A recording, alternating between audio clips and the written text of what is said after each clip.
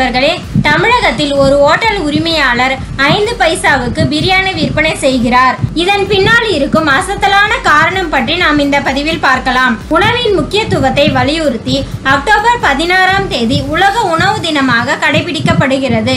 கடந்த ஆயிரத்தி தொள்ளாயிரத்தி எழுபத்தி ஒன்பதாம் ஆண்டு ஐக்கிய நாடுகள் சபையின் உணவு மற்றும் வேளாண் அமைப்பின் மூலம் இந்த தினம் அறிவிக்கப்பட்டது. உலக உணவு தினத்தை முன்னிட்டு திண்டுக்கல்லில் ஒரு பிரியாணி கடையில் ஐந்து பைசா கொண்டு வந்தால் சிக்கன் பிரியாணி வழங்கப்படும் என அறிவிக்கப்பட்டது. முதலில் வரும் நூறு பேருக்கு பார்சலில் பிரியாணி வழங்கப்படும் என அறிவிக்கப்பட்டிருந்தது. மதியம் பன்னிரண்டு மணியில் இருந்து பிரியாணி வழங்கப்படுவதாக அறிவிக்கப்பட்டது. ஆனால் காலை பத்து மணியில் இருந்தே கடை முன்பு ஏராளமான மக்கள் குவிந்தனர். ஆண்கள் மற்றும் பெண்களும் பிரியாணி வாங்க வரிசையில் காத்திருந்தனர். அதன் பின் ஐந்து பைசா நாணயத்தை வாங்கி வைத்துக்கொண்டு நூறு பேருக்கு பிரியாணி வழங்கப்பட்டது.